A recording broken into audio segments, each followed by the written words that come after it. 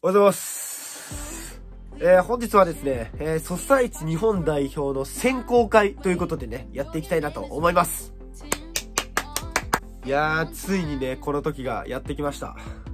以前の動画でですね、まあ、レイブユナイテッドから、えー、ソサイチ日本代表をね、選出したいって思いがあったんですけど、まあ、今回はですね、そのチャンスをですね、自分がね、あの、得ることができて、まあ、今日の夜ですね、あの、日本代表のね、選考会にね、行ってきたいなと思っております。いやー、めちゃくちゃマジで楽しみで、本当にやばいっすね。え、日本代表の選考会が、一応関西と関東で行われるんですけど、総勢70人が選考会に参加するんですけど、まあなかなかね、狭きもんなんですけど、まあ、本当に自分はですね、今日のためにめちゃくちゃ2週間かけて準備してきたし、やってきたことを今日は本当に出すだけだと思うんで、頑張っていきたいなと思います。では早速ね、一日ね、準備していきたいなと思います。では行きましょう。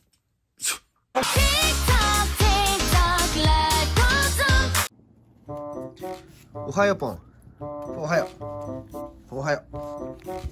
う。よし、おはよう。してんだよ。ん？今日は。甘えん坊さんなのか、お前。お、ポン。さあ、テニスボール。ポン、テニスボール。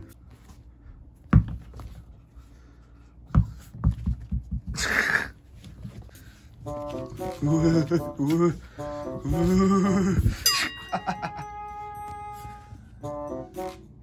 ゲラポン。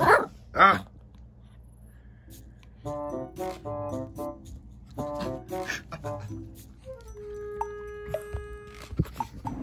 はい、えー、ということで、今、準備の方ができまして、あの、これからですね、ちょっと町田の方に向かっていこうかなと思うんですが、今日はですね、あの、電車の方で移動していきたいなと思っております。このね、キャリーと一緒に今日は行きます。今日のセレクション、どんな人が来るのかめちゃくちゃ楽しみで、本当に自分より絶対レベルの高い選手とかもいるとは思うんですけど、まあ、その日頃やってきた練習だったりそういう自主練の成果をね本当に出すだけだなと思ってるんであの頑張っていきたいなと思います。はいではですね早速ねやっていきたいなと思います。いきましょう。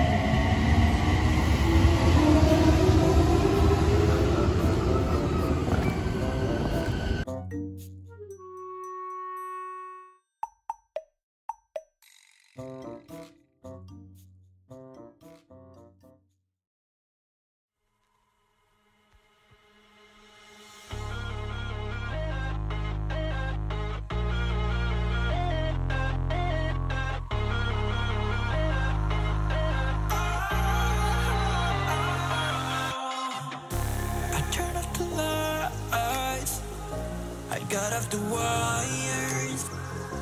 When I close my eyes, disconnected and tired.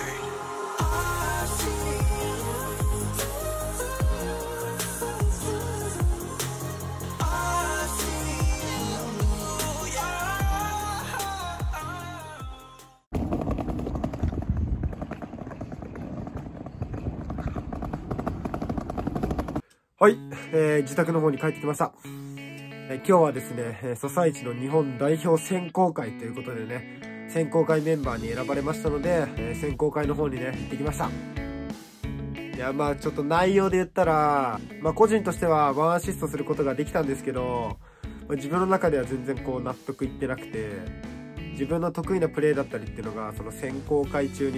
全然出せなかったですというよりはもう出させてもらえなかったです、え関東一部クラスの選手の人たちがたくさんいてまあ普段は自分は関東4部でやってるんですけどもう4部と1部じゃ本当に比にならないぐらいレベル高くて、まあ自分自身も、え関東一部で2年ほどやってたんでもう本当にその関東一部の基準に本当に自分も合わせていかなきゃいけないなと思いました。にこう来月から始まるリーグ戦に向けて今日は本当にめちゃくちゃいい一日になって、まあ、今日日本代表選考会で得たものっていうのをこうレイブユナイレットにねあのどんどん還元していきたいなと思いました。はい。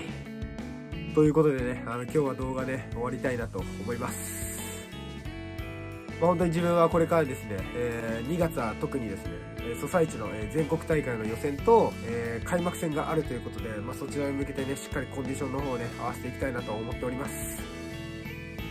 まだまだね、2023年ね、水島勇気は成長しますのでね、皆さんぜひそちらのね、成長する姿を YouTube でご覧いただけたらなと思います。では皆さんね、また次の動画で会いましょう。See you again!